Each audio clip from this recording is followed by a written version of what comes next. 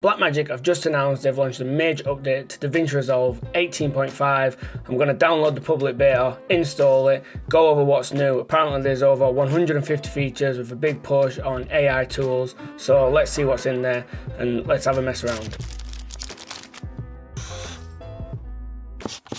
Right, here we are, loading up DaVinci Resolve Studio 18.5. Open my test project. So I've got a clip shot on an Ursa Mini G2 of me talking here in one of my YouTube videos. Let's see if the auto transcript or caption can work. We click upon me and hit the that. Transcribing audio. Initializing. Analyzing clip. Analyze speed 16.8 times. This is quite a long clip. My PC is on a really old Ryzen CPU, first generation, but I do have a 3060 RTX. So, but nothing crazy, nothing super high end. Normally, my old workflow before this uh, newer Resolve update, you can see down the bottom I have CapCut. I would just export, import into CapCut and get CapCut to do it. That's like a free uh, mobile software that a lot of people use for TikTok, Reels, YouTube Shorts. Uh, so I was using the auto transcribe feature in there with talking heads, corporate interviews, or reels. These things are kind of part of, they're essential nowadays. Yeah, seems to work great. That's cool. So, paper rustling, impressive. Filming, that's me asking whether the cameraman's filming. That's pretty cool. Um, okay, let's say we want this sentence. What's the hook of the YouTube vid? So then we click drop that in the end. Oh wow, nice. For corporate work, where you got long interviews, you need specific bits, that is going to be a massive time saver. Uh, so now it's getting to the auto generation of the captions. So if we add a right click and add a subtitle track down here, this is normally where you would have to manually type out so you select nothing on your timeline. So you come up to the timelines tab across the top and you come down to create subtitles from audio. Max per line. I'm sure this can do some tweaks. Teletext, Netflix. It's got some presets. Let's have some Netflix preset. Create. Analyzing, initializing. Done. Okay, let's the first one. Not quite sure why. Maybe that's a case of it's just been a little too close to the beginning. One year ago today, we decided to buy a kit of DZO Film Pictor Zoom cinema lenses. Perfect. Today I'm gonna break fast snapper. like I said, I don't have the highest spec PC at all. This ain't like no M1 or M2 Mac or anything like that. So it's really good to see. This is a YouTube Shorts have with music in the background. Now just to, for curiosity, I wanna see if it can my voice is quite a lot louder, I will play it. I'm going to do a breakdown of our Ursa Mini G. We used the V-mount plate, the one from Blackmagic. So next, let's add a top handle. So you can see there is some music in there and stuff. I wanted to see if it could still transcribe my voice with the music included. As this one was just mic, raw, raw clip with mic synced. So we click that, we come up to the left, transcribe audio button, analyzing clip, First thing I'll do is a rig, it's batch plate. Perfect, yep. Did it no problem at all. And again, as I said before, if you wanted to take out a simple section of that, you can go to this monitor section, about what monitor I use, and I can drop that in, and bang. Things are quite cool and they're glowing the dark. It'll save a lot of time for a lot of professionals. It's good to see Blackmagic still pushing boundaries and still listening to feedback. This is clearly something a lot of people have asked for with the recent boom in Reels and, and, and TikTok, etc. Right, so next thing I want to look at is my is super scaling. We're zoomed in five times here. Looking at the G2 logo here on side of the Ursa. Oh, see how noisy on, off, on. That's pretty impressive. That's if you're taking into consideration how zoomed in we are. Um, let's have a look at the record button. So down here we've got we've got hold still. It's it's it's messing up a little bit. I think you'd have to be careful with what you use it. But if you have some old footage or something you're wanting to restore, this is pretty cool. You see all these third part uh, kind of uh, AI tools that are restoring footage. It's good to see Blackmagic implement their own that come included, so you've not got to go spend extra money. So yeah, for for restoring old footage, what sometimes is a must. This is like a good tool.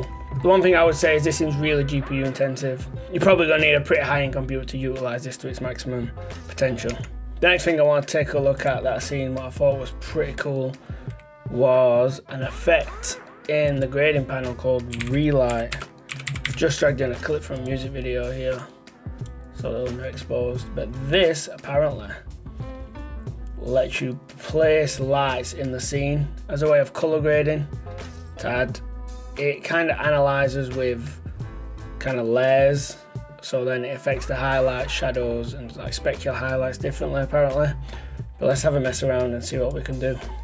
So this one is generating the map and then I'm outputting the map then telling it on the second node up here to use input 2 as the map source. So this one is where you could affect the the map style but once you've done that you can just go ahead and grade normally but instead of so the way the grade is going to work is as I push up the highlights, as you can see the hotspots created there, you can see that it's trying its hardest to appear like a virtual light. It's doing a pretty good job. Obviously I push this one really far to an extreme. I should really be using my panel down here, but I, I want you guys to see what I'm doing as I explore these and mess around with them. Okay, so that works-ish You can see some weird HDR looking thing squatted around the edge. But in, in the right situation, subtler, this one imitates a spotlight. And it's quite realistic looking the way it's hitting the wall. This might not be the best clip to show you how good this actually is, but some other features worth noting is you can now export directly to TikTok and you can upload directly as well if you log in. Could be useful. They have improved Dropbox replay. You can now upload multiple versions if you use that. That's something we do use at our company. So that was always an issue where if you uploaded a, the same timeline twice, it would just make multiple uploads, but now it has multiple versions under one.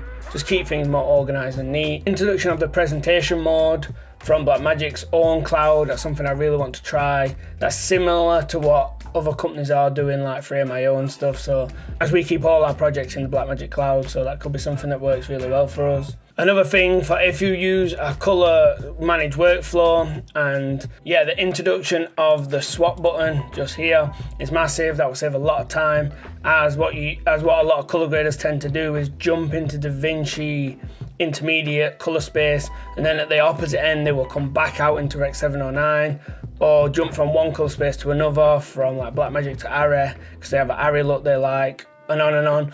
And this will just make it so much faster, just being able to hit a button that swaps to get back the other way. It just proves that Blackmagic are truly listening to feedback from users and not just implementing stuff what they think is needed. They're actually listening and implementing is what actual professionals out there are really using. There's been loads of stuff added into the cut page.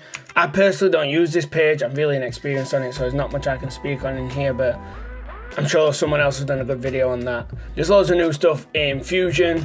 They've took a lot of the color grading stuff, depth map, and etc. over to the Fusion tab. You're now uh, bringing USD 3D files, what's big for collaborating with other people in 3D softwares. It's all stuff just pushing it further on. I guess it's stuff that is needed now. Resolve is coming kind of this industry standard thing, taking over where Adobe have been for the last so many years. So yeah, it's just good to see it all progressing on really. You can now export JPEGs and animated GIFs, cue the cinematic color graded memes we're about to drop. This one's massive. You can now back up timelines, modify timelines. You just come into preferences, project saves and loads. The timeline will automatically back up to uh, whatever time you set it to here. This has always been available on a project basis, but now it's available on a timeline basis. What's great for modified timelines, if you ever need to recover an older timeline, you've done some amends, but then client wants to go back, this is going to be great and sure save some many hours for some people working with. Another thing worth noting that's not Resolve related, but is the update for the Pocket Blackmagic cameras. These now shoot vertical, again moving towards that Reels and Shorts and TikTok I think this is big. Blackmagic staying ahead of the game. This will rotate your menus. It does a clever little thing with a gyroscope inside the camera where it records that you shot vertically. This really shows you the direction that Blackmagic heading in. If you shoot this vertical content, the gyroscope in the camera will automatically detect that you have shot in vertical. It will then automatically create the vertical timeline in Resolve you can auto transcribe captions and get that TikTok look. You can then upload directly to TikTok.